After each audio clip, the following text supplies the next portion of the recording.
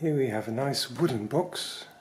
It says Thales on the front and that's because inside it has a Thales uh, pinwheel calculator.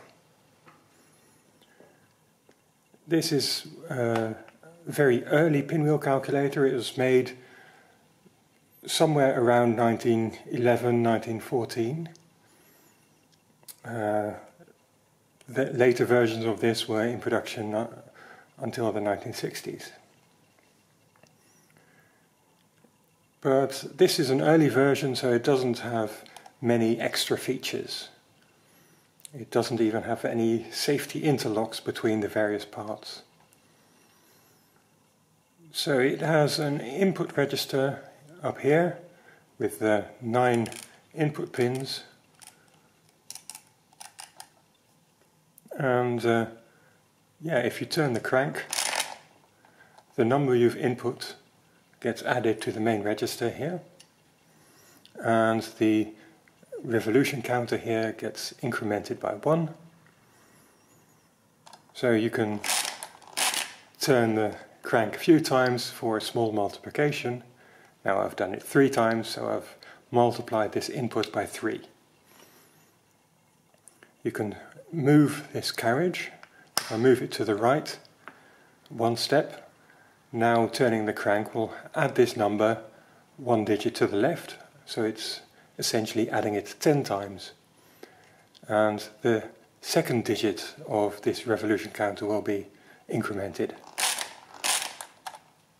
So the number here is what you've multiplied the input by and yeah, the result of that multiplication has been added to this main output register. Uh, to clear the input, you can use this moving comb here. If you uh, move this to the left and, and turn the crank, it catches all these input pins so that you can, uh, yeah, so that you've cleared the input. That's quicker than doing it uh, individually, one by one. To clear the output, you have to turn this wing nut. Subtraction is uh, just as easy. It's simply turning the crank in the opposite direction, anti-clockwise.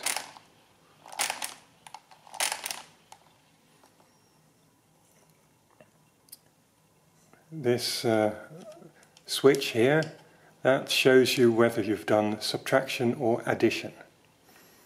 When you turn clockwise, it moves up to the plus, counterclockwise it moves to the minus.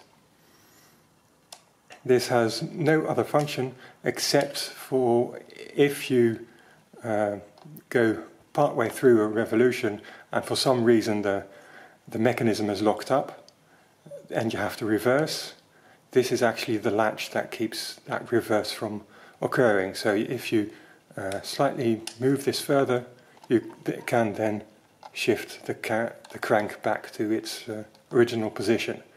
But that's only done for emergencies if for some reason the mechanism has broken and it's locked up.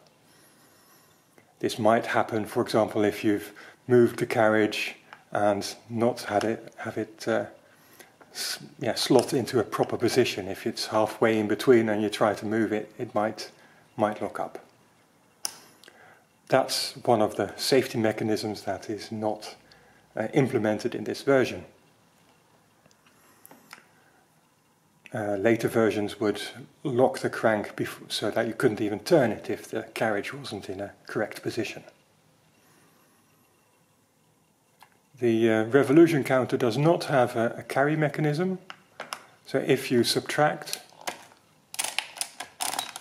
it just turns the wheel the opposite direction and it will show red digits and uh, yeah, red digits to indicate that it was subtracted.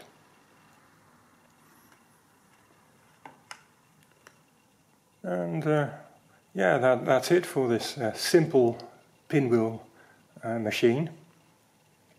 The uh, Thales uh, company, Thales Werke, was founded in uh, 1911 and after two years it, it, was it moved to Rastatt in, in Germany right next to the uh, border of France. The main uh, engineer and co-founder was Emil Schubert. He'd uh, worked previously at uh, Triumphator and uh, yeah, was a very successful and uh, clever engineer. Later, after he left Thales, he was forced to leave when, uh, yeah, due to the Nazi regime.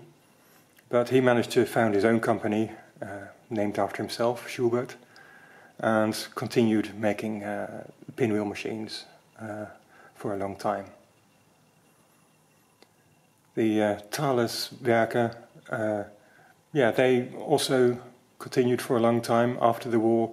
They also made uh, other kinds of machines. I have the Thales KA, the Klein Addier Maschine, and uh, there's another video where I show that. So that's the Thales Model A. Thank you for watching.